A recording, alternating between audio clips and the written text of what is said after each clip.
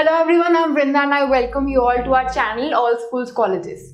Today we are going to talk about BSc in Operation Theatre and Anesthesia Technology course.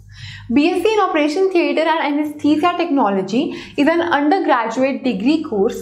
The course is typically of 3 years duration. However, the duration of the OT and Anesthesia Technology course. Now let us talk about the eligibility criteria for this course. Candidates should clear class 12th in any stream from a recognized board and should score minimum percentage, usually 45 to 60 percentage, as prescribed by the university or college in which they are seeking admission. Candidates should be minimum 17 and maximum age for the course should not be more than 35 years.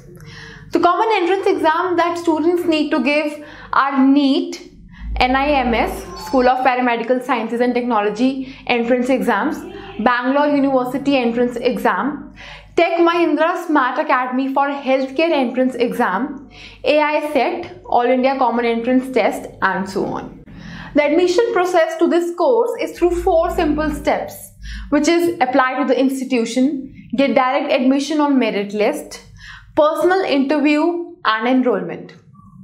Now moving on, let us look at the course highlights.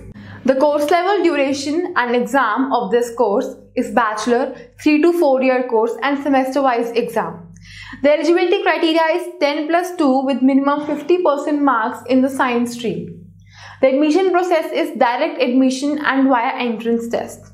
The course fee approximately can be 5000 to 10 lakhs. The average starting salaries could be from 2 lakhs to 10 lakhs per annum. Your employment areas could be corporate hospitals, medical college, nursing home, pharma companies, etc. Your job profiles could be anesthesia technician, medical consultant, consultant, associate consultant, etc. Now let us look at the required skill set which are essentially required for this course. These are flexibility, communication skills, empathy, leadership skills, physical fitness and adaptability. Next, if you want to know about the top colleges and universities that conduct this course, then you can visit our website. You can check the link to the website in the description box below. Moving on, let us talk about the syllabus of this course. As you can see on your screens, the three columns depict the three-year course syllabus. In order to read the syllabus, you can pause your video and have a look at it. Moving on, your job profiles for this course could be anesthesia technician, medical consultant, anesthetist, pediatrician, clinical associate, teacher or lecturer, OT technician and so on. Next, let us talk about some employment areas where you could work after the completion of this course. These are corporate hospitals, medical college, nursing home, government hospitals, emergency centers, private laboratory and so the list goes on. The top recruiting companies of this course includes AIIMS, Apollo Hospitals, Bombay Hospital and Medical Research Center, Fortis Hospital, Max Healthcare, Kokilaben Dhirubhai Ambani Hospital and Medical Research Institute and so on. Moving on, we go across the salary trends for different job profiles which are as follows. If you become an anesthesia technician, your salary could be 3.5 lakhs per annum to 8.5 lakhs per annum. If you become a medical consultant, your salary can be 4 to 9 lakhs per annum. If you become an anesthetist, your salary could be 3 lakhs per annum to 7.5 lakhs per annum. If you become a pediatrician, your salary could be 3.8 lakhs per annum to 8 lakhs per annum.